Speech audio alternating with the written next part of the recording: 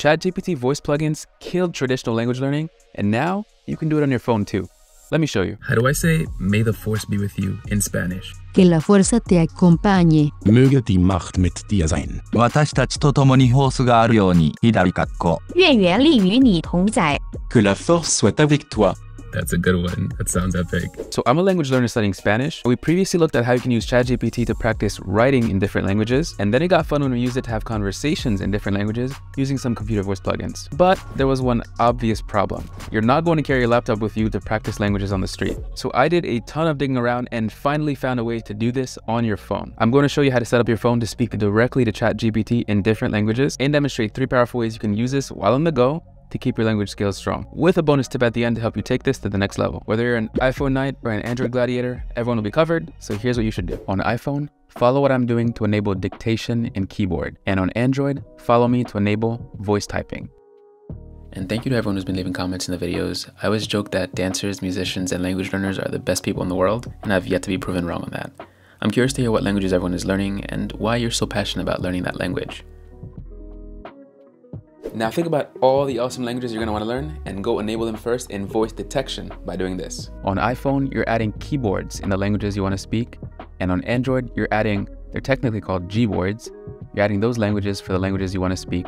For me, I have to include Spanish, of course, and let's see what Italian, German, French, Japanese, and a few others sound like. Now you're going to want to enable for your phone to be able to speak back to you in different languages by doing this. On iPhone, you're going to enable spoken content by copying me here. And on Android, you're going to enable select to speak and read in background like this. To answer my own question, I'm learning Spanish. I've been able to visit Mexico and Argentina and I've loved them. So if you know any city or town anywhere in the world that's Spanish speaking, I'd love to give it a visit and just get to know people there. Now set your reading speed on iPhone like this and on Android as follows. Speak selection read selected content. Speak selection read selected content. And finally, set the languages you want ChatGPT to be able to read back to you on your iPhone like this and on Android like this. iPhones have a benefit here because you can technically have all languages enabled to be read to you, whereas Android makes you choose one language that you can come back to here and change.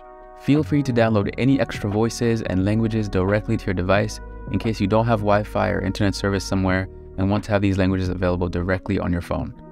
This is how you do it on iPhone, and Android supports this too. The two have different language options, but very popular languages like Chinese, Spanish, German, Japanese, Italian, and English are covered in both of them. Hallo, ich heiße Markus. Hallo, ich heiße Markus. こんにちは。私の名前は音谷です。こんにちは。私の名前は音谷です。 Este es un ejemplo de síntesis de voz en español. Este es un ejemplo de síntesis de voz en español. Este es un ejemplo de síntesis de voz en español. And now, let's give it a test. Testing. Can you hear me?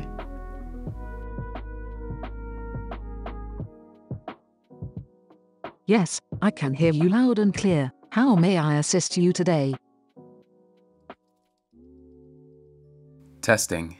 Can you hear me? Yes, I can hear you loud and clear. How can I assist you today? So now it's time to put this bad boy to the test and see how to use it. The main benefit is using this as a conversation dummy so you can build your confidence and then go out and speak to different people in different languages. Tell ChatGPT something like, act as my Spanish conversation partner. Only reply to me in Spanish and continue the conversation when you respond. Now kick off a conversation like, did Star Wars get better or worse when Disney bought the franchise? Hola.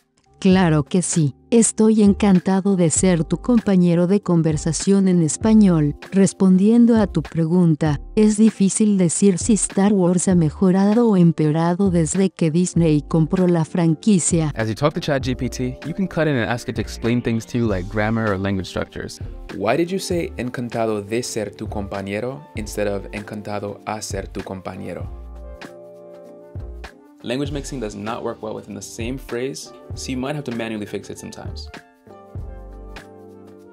Muy buena pregunta. En español, decimos encantado de ser tu compañero en lugar de encantado a ser tu compañero porque la preposición de se utiliza para expresar el... A second way to use this, if you're a beginner and you're not ready for full conversations, you can use this method to teach you phrases in another language without you knowing them to start with. Try something like this. Translate this to German. I am a Jedi. Ich bin ein Jedi. And then you can ask more complicated phrases as you build up your language skills. Translate this to Spanish. I have worse aim than a stormtrooper. Tengo peor puntería que un soldado imperial. Remember, this is not perfect, but it's a good start. This is another fun way to use ChatGPT to practice languages on your phone. If you're a beginner, you can use guided conversations to have ChatGPT walk you through full dialogues in different languages. Take a look at this to see what I mean. Tell ChatGPT something like, act as a Spanish teacher for a beginner student. Let's have a conversation with one sentence phrases. Repeat my responses back in English and Spanish, and do the same for your responses. Copy this format example. Let's start. What would have happened in Star Wars if Anakin had never turned evil? En español, ¿dirías que habría pasado en Star Wars si Anakin nunca se hubiera convertido en malvado? Did Darth Vader ever end up bringing Padme back from the dead?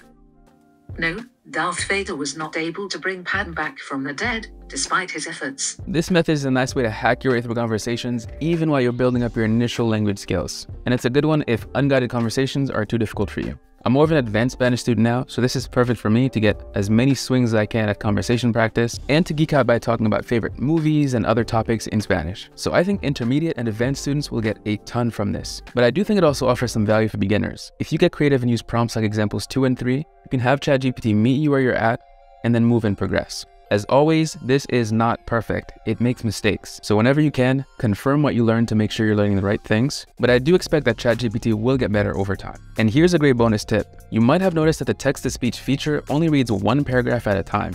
Respond to me in Spanish paragraphs. Who is more powerful, Darth Vader or the Emperor? Darth Vader y el Emperador son dos de los personajes más icónicos de la saga de Star Wars, y ambos son conocidos por su poder en el lado oscuro de la fuerza. Pero cuando se trata de determinar quién es más poderoso entre los dos, hay que tener en cuenta algunos factores importantes. Where's the rest? And this can get annoying having to tap the screen again and again for each paragraph. So here's a workaround to fix this. On iOS, enable read selection on the spoken content page, and on Android, you're all set already. When you want to hear multiple paragraphs, drag and select the full text and tap read on iPhones, and click and drag over the full screen on Android. So you should get something more like this. Hay que tener en cuenta algunos factores importantes. En primer lugar, el emperador, también conocido como Palpatine, es el líder del Imperio Galáctico y Chewbacca, a popular character from the Star Wars franchise, is a Wookiee. A fictional species that is covered in long, shaggy hair. While there is no real life animal that looks exactly like a Wookiee, there are some animals. Some similarities with the character. The closest animal to a real life Chewbacca might be the Tibetan Mastiff. I have a ton more tips and prompts to use ChatGPT to practice and learn languages in this playlist on my channel, and I'll keep investigating to find better and better methods as the tech develops to share with the community. So I'll see you there if you found this useful, and hasta la próxima. So where does the force really come from?